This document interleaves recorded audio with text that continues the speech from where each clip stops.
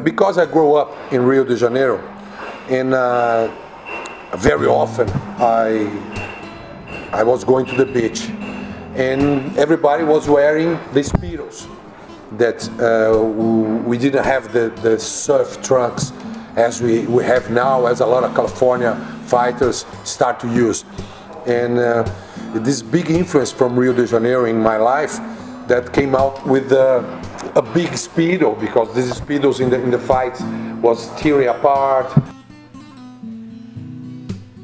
We decided to put the eyes in the, our first our first sungões, Vale Tudo Sungões. And uh, immediately was a big hit because I think one of the first the first to wear was Amaury Bitetti and um, Vitor Belfort, Mark Kerr, plenty, plenty uh, a lot of, a lot of, even Anderson Silva, uh, we saw uh, one of his fights wearing one of our sungões. I think was the first really equipment for fighting in the world. So we're very proud to create this product.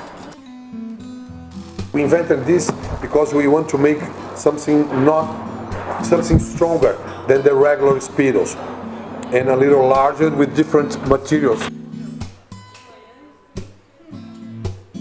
Because I'm from Rio, I think I saw a lot of fighters, and I used to go to the beach with uh, wearing sungões or, speedos, and we decided to make one stronger and uh, and more flexible than the normal speedos, and we come out with this all black or all white, and a little later we come out with this stripes on white and became and put the eyes of a bad boy logo here and became a big hit for the surfers and the fighters.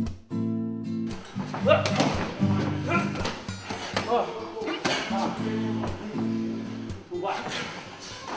vai aqui em cima.